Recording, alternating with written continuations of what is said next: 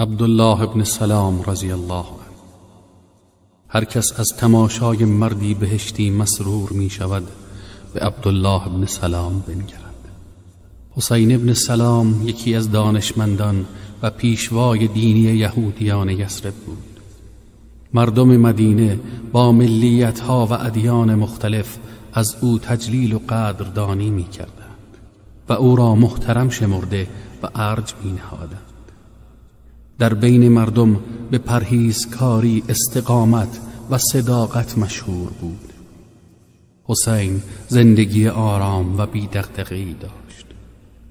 وی وقت خود را به سه قسمت تقسیم کرده بود.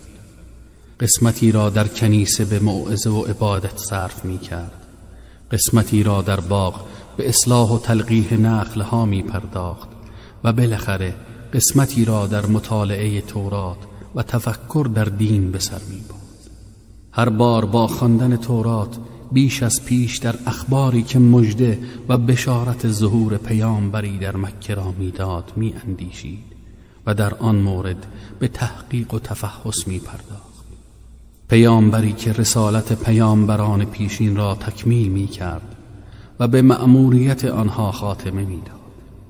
اغلب از خواندن اینکه پیامبر محل بعثت خود را ترک و به مدینه مهاجرت می کند و در آن اقامت می گذیند از شادی هیجان زده می شد و از الله تعالی می خواست که به او عمری عطا فرماید تا ظهور این پیامبر را به چشم خود ببیند و به شرف ملاقاتش نایل آید و اولین کسی باشد که به او ایمان می آورد الله تعالی دعای حسین ابن سلام را مستجاب کرد زیرا که عجلش تا ظهور پیامبر هدایت و رحمت به تأخیر افتاد و شرف ملاقات او نصیبش گشته و با او یار و هم صحبت شد و به حقیقت نازل شده بر او ایمان آورد.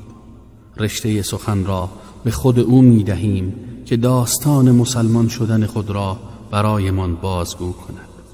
حسین ابن سلام می گوید وقتی خبر ظهور پیامبری را شنیدم به تحقیق و بررسی درباره نام و نسب و صفتها و زمان مکان و نشانش پرداختم و آنها را با مطالب مکتوب در کتب خود مقایسه کردم.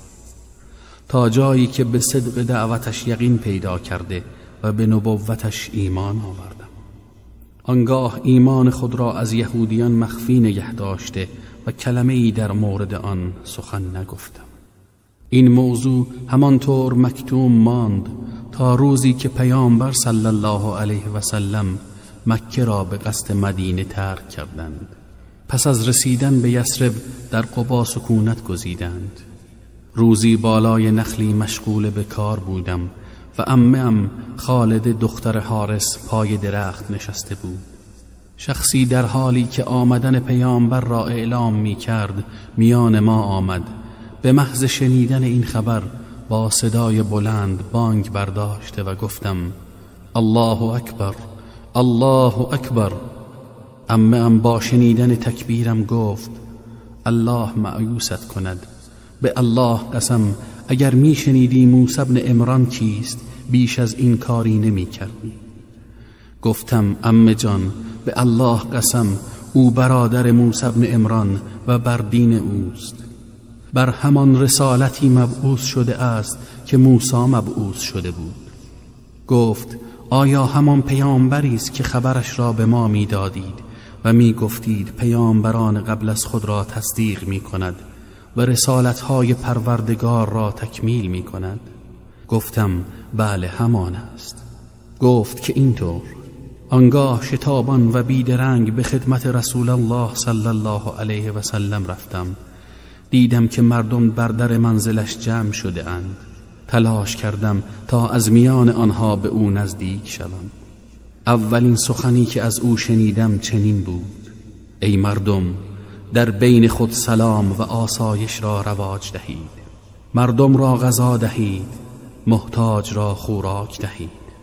وقتی دیگران در خوابند نماز بخوانید که با کمال امنیت و آسایش وارد بهشت می شوید مدتی به او خیره گشته و اندیشیدم.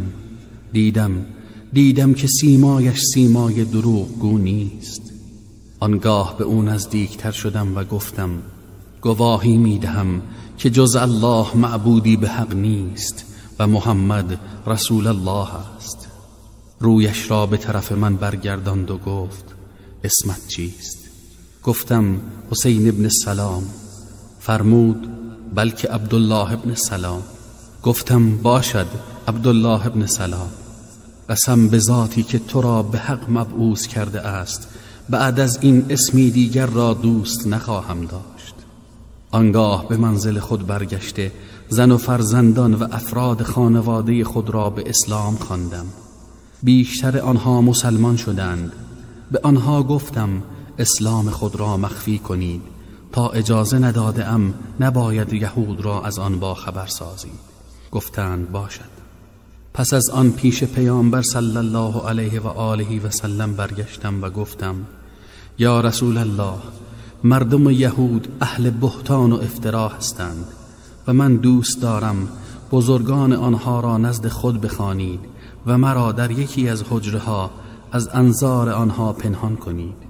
آنگاه قبل از اینکه بفهمند من مسلمان شده ام درباره قدر و منزلت من از آنها سوال کنید سپس آنها را به اسلام دعوت کنید چون اگر بفهمند من مسلمان شده ام از گفتن هر عیب و نقصی درباره من کوتاهی نخواهند کرد و به من بهتان و افترا میبندند پیامبر صلی الله علیه و سلم مرا به حجری فرستاد سپس آنها را پیش خود خواند و آنها را به اسلام تشویق و ایمان را برایشان تبیین می کرد میفرمود در کتب شما درباره پیامبری من خبر داده اند.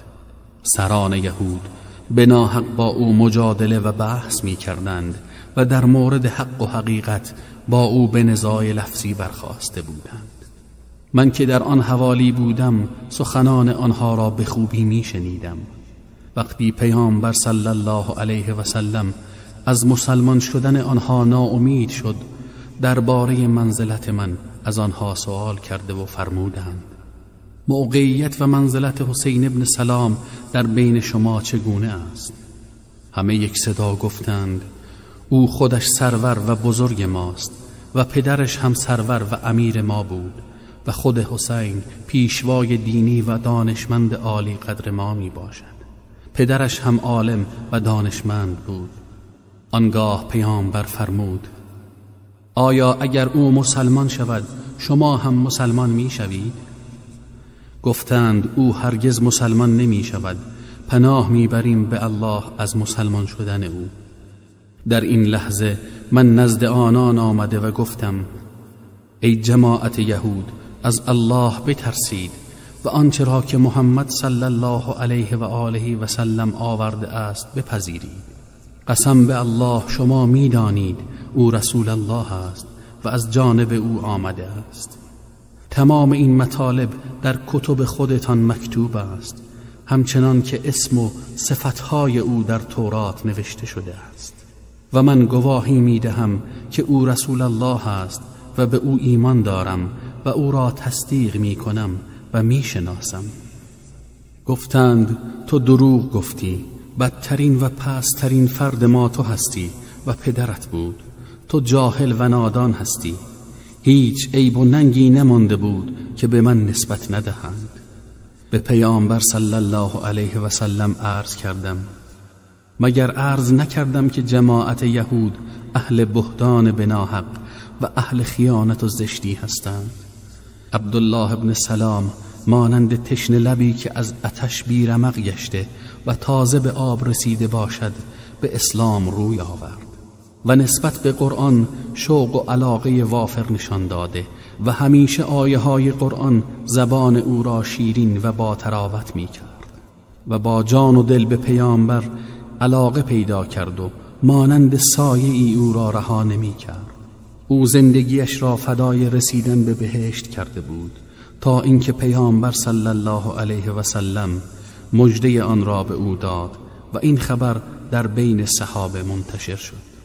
این مجده داستانی دارد که قیس ابن عباده و دیگران آن را روایت کردند راوی می‌گوید در مدینه در یکی از حلقه های علم در مسجد پیامبر صلی الله علیه و سلم نشسته بودیم. در این حلقه پیرمردی گشاده رو و نورانی بود. او برای اطرافیان گفته های شیرین و جذاب و مؤثری می گفت وقتی بلند شد تا برود جماعت گفتند هر کس از دیدن اهل بهشت مسرور می شود به این شخص نگاه کند. گفتم این شخص کیست؟ گفتند عبدالله ابن السلام است. در دل با خود گفتم به الله باید او را تعقیب کنم. او را دنبال کردم. نزدیک بود از شهر خارج شود که وارد منزلی شد. اجازه خواستم و داخل شدم. پرسید برادرزاده چه کار داری؟ گفتم وقتی تو از مسجد خارج شدی شنیدم جماعت می گفتند هر کس از دیدن اهل بهشت مسرور می شود این شخص را نگاه کند. من هم پشت سرت آمدم تا دریابم مردم از کجا می دانند که تو اهل بهشت هستی؟ گفت بله درست است. اما حتما آنان دلیلی دارند. دلیل آن را برایت خواهم گفت. گفتم بفرما. گفت در زمان رسول الله صلی الله علیه و سلم شبی خواب دیده بودم. در خواب یک نفر آمد و به من گفت برخیز برخواستم دستم را گرفت و به راه افتادیم. به راهی در طرف چپ رسیدیم. خواستم آن را پیش گیرم. گفت بگذار این راه تو نیست. نگاه کردم دیدم در طرف راست جاده مشخص و روشن قرار دارد. گفت این راه را پیش گیر. آن را پیش گرفتم و رفتم تا به باغی بسیار زیبا و پرسمر رسیدم. در وسط باغ ستونی آهنین قرار داشت که یک طرف آن در زمین و طرف دیگرش به طرف آسمان بود و روی آن یک حلقه طلا قرار داشت. به من گفت بالا برو. گفتم نمی‌توانم. در این موقع غلامی آمد و مرا بلند کرد تا نوک عمود بالا رفتم و با هر دو دست حلقه را گرفتم و تا صبح به آن چسبیده بودم. فردا نزد رسول الله صلی الله علیه و سلم آمدم و خواب را برایش تعریف کردم. فرمود راهی را که در طرف چپ دیدی راه اصحاب شمال و اهل آتش بود. و راه طرف راست راه راست و اهل بهشت بود. و باغ سرسبز و خرم اسلام است. عمود وسط باغ عمود و ستون دین است. و حلقه عبارت است از عروت الوسقا یعنی ریسمان ناگسستنی که شما تا آخرین لحظه حیات از آن جدا نمی شوی. آری مجده بهشت بر او مبارک باد